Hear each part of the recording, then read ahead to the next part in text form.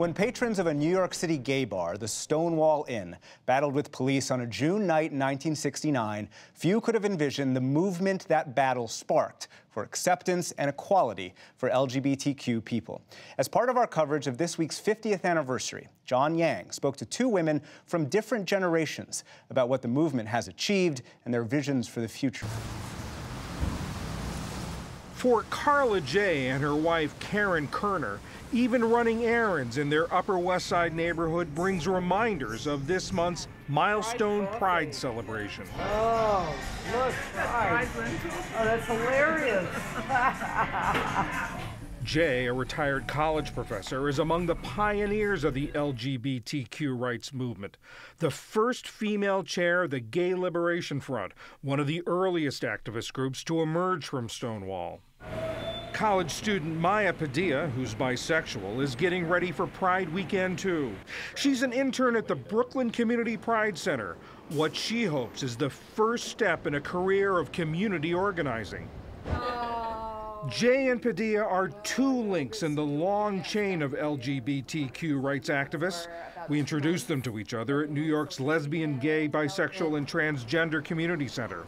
It's just so many. Their stories provide a glimpse of how attitudes toward the LGBTQ community and protections for their rights have changed over the last half century and how they haven't. Jay was raised in Brooklyn.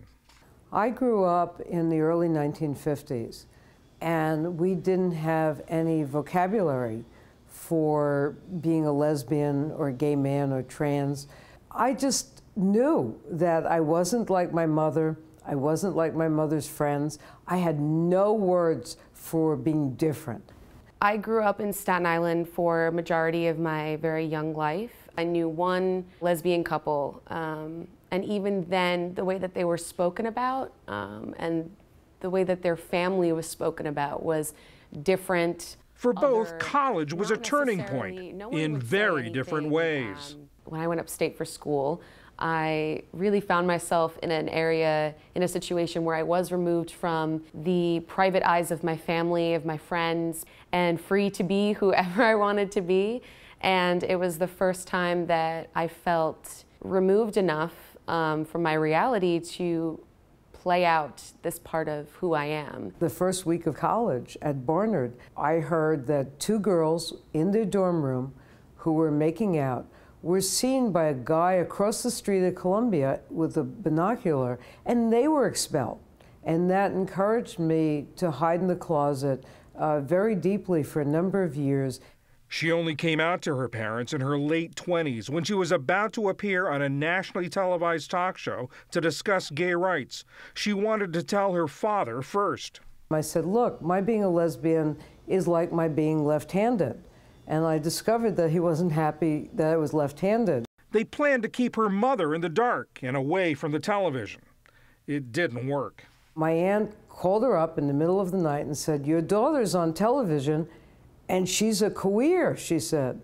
She called my father into the bedroom and uh, she said to my father, Karla's on TV and she says she's a lesbian. What is it? Uh, what was your, your relationship like with your parents from there on?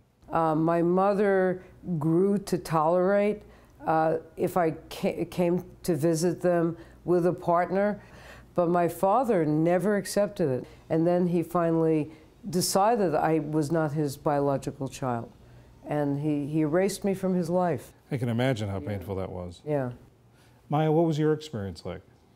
So um, I had a a different experience. Um, I came out to my parents in my junior year of college. They were understanding, although there was a little bit of like a knowledge gap. Um, what does it mean to be bisexual? So is it harder because you're telling them you're bisexual rather than telling them you're a lesbian? Oh, 100%. We're spoken as if we don't exist in the community at all, um, as if we're playing a game, choosing the ability uh, to be queer and choosing to be straight when it's beneficial. But my years in the closet were just as painful. And then it's down this okay. way? Yeah. From the center, we set out through the streets of Greenwich Village for an address Jay remembers well. It wasn't that far in. Here's the address. It's like 149 or something. It's now a restaurant. But from 1965 until 1973, it was home to Kooky's, at the time one of New York's few lesbian bars. It was so oppressive in here for us.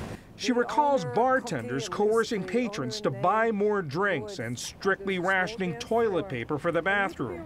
Only two sheets per customer. Just for being a lesbian. So even though you were treated horribly, Yes. it was still a safe haven? It was the only place we had. We put up with everything gratefully. We were happy to go in and see women who looked like us. And how do your experiences at, in lesbian bars compare to what Carly described in Kooky's? A lot more positive. a lot more positive. These days, Padilla has more and more pleasant and nurturing options, like the Brooklyn Community Pride Center, where she's an intern. This center has given me a lot of different opportunities uh, to grow just as a person. It's really given me a place to really integrate all of, I think, the skills that I have and all of the uh, experiences that I've had and added that last component of queerness into it. It's a long way from 1969 and Stonewall. The morning after the uprising, Jay headed to the bar. One of the first things she saw was a message in the window. It was a big sign with white letters telling people to keep the peace, to cooperate with the police, and to go home and to be peaceful. And I was shocked because it seemed to me that this was not the time to be peaceful. There was a lot of anger, and people were just talking and shouting and saying, What do we do? What do we do? This is enough. We have to stop it. Uh, enough already.